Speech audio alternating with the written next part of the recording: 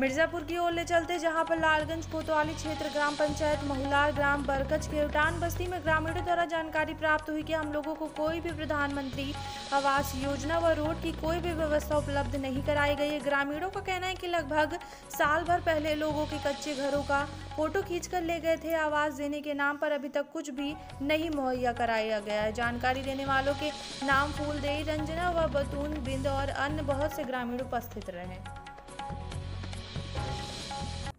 Express से मैं भूपनारायण मौर्य इस समय पहुँचा हूँ मिर्जापुर जिला के थाना क्षेत्र लालगंज ग्राम बरकच में जहाँ देखते हैं यहाँ काफ़ी संख्या में पुरुष महिला जुटे हैं। आइए इनसे जानते हैं कि क्या समस्या है। माता जी आपका क्या नाम है? ज़ोर से बोला फुलदेई। फुलदेई। हाँ आपकी कोई समस्या है? कोई समस्या है सड़क नहीं है। आवे के सब लड़का बच्चा के सब गाड़ी मेरे खेते में फिर आवत हम गाड़ी गुफा सुनत है। चलो ठीक है अच्छा सड़क नहीं है। और कोई समस्या? कॉलोनी भी नहीं कहीं मिल रहा है आवास। अच्छा कॉलोनी नहीं मिला तो आप किसी से अवगत कराई अपने गाँव के प्रधान से या किसी अधिकारी से? हाँ आप तो के हमें कुछ कितना दिन हो गया फ़ोटो खींचे? साल साल हो। गया है कुछ बोलना चाहती हैं?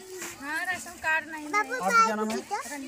राशन कार्ड आपका नहीं है कि बना था कट गया? नहीं बना रहा है दो महीना मिला अच्छा आपका जो है कि कॉलोनी और बन गया कि नहीं? माता जी करें कॉलोनी बना? शौचालय तक नहीं बना। शौचालय भी नहीं बना है। आइए इधर दाऊ साहब हैं इनसे भी जानते हैं। दाऊ आप बताइए क्या नाम है आपका?